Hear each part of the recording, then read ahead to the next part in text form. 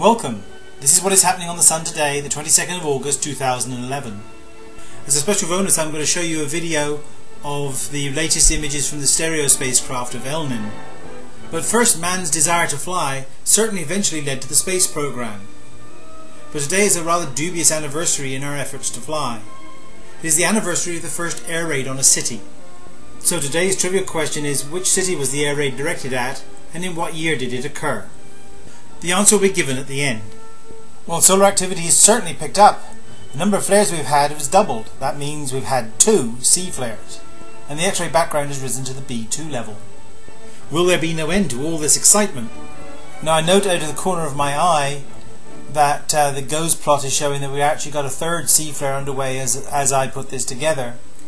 Uh, so my forecast today that C flares are likely has already been proven right. Now honestly, I, when I put that together, I did not know this C flare was happening.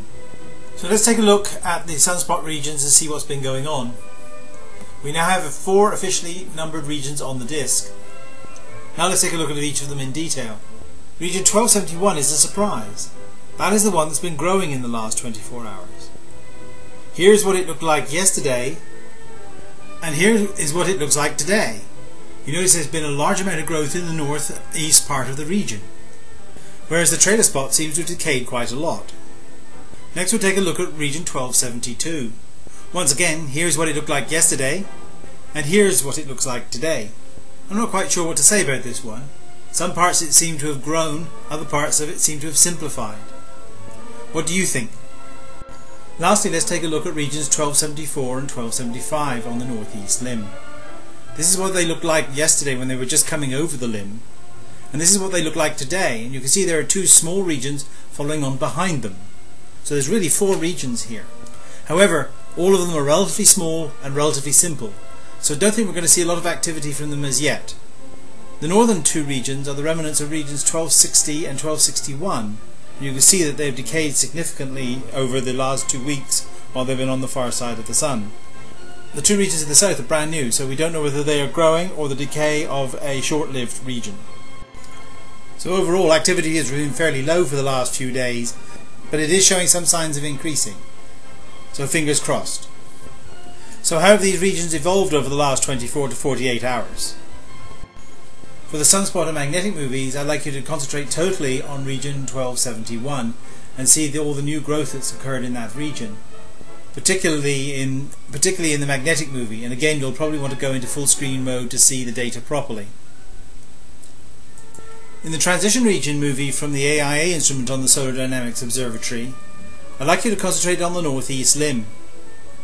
There is a very large eruption there although it's only caught for a few seconds in the actual video itself but I'm hoping that this is indication that 1263 when it returns will still be very active because it's about from the right place. In the low temperature coronal movie, I'd like you to concentrate on the regions 1274, 1275 and those two small regions following. Try to gauge their activity levels and compare it with what's behind the limb, for there's still parts of this region due to come over in the next 24 hours. And tomorrow we should start seeing the first indications of region 1263 directly behind the limb. So that should be exciting. In the high temperature coronal image you can see the coronal hole is now fully in the western hemisphere and should be starting to affect us. So we should look for clues of that in the solar wind data that's coming up in a minute. Unfortunately, the coronagraph, unfortunately, the SOHO coronagraph data stops before the time of the eruption that we saw in the AIA transition region image. But it should be visible in tomorrow's uh, data, so we'll take a look for it there. Now, embedded in the C3 movie, there is a frame that looks like this. Don't get worried about fleets of alien spacecraft. All this is is debris orbiting around the SOHO spacecraft. In the solar wind data we see that the uh, temperature of the solar wind hasn't changed very much. Density's been bouncing around all over the place but has gone back to basically below 1 proton per cubic centimetre and perhaps the velocity's increased slightly. But we're definitely not seeing any sign of this coronal hole. The high energy electron flux seems to have dropped yet further and we still have no proton events. The auroral zone looks a lot more active than it did yesterday but the KP index is showing little sign of change varying between 0 and 2. So in summary then, the X-ray background has risen to the B2 level, the sunspot number has increased to 66, the radio sun intensity has increased to 101 solar flux units, Solar wind speed has dropped slightly to 390 km per second, but with a density of between 1 and 2 protons per cubic centimetre, and geospace conditions are rated as quiet. My forecast for the next 24 hours are that C flares are likely, M flares are possible but unlikely, and X flares are very unlikely. The sunspot number should drift higher. We still have a good likelihood of getting coronal mass ejections. Solar wind speed should edge higher with this coronal hole. From the composite coronal image we can see that region 1263 is still two or three days behind the east limb, but we should start seeing the first evidence of it tomorrow.